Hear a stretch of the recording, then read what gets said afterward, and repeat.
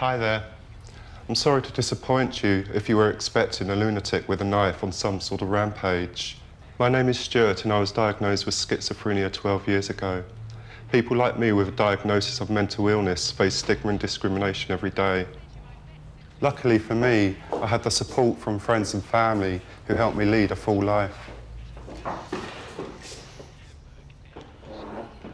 Visit timetochange.org.uk and find out how you can help end the stigma.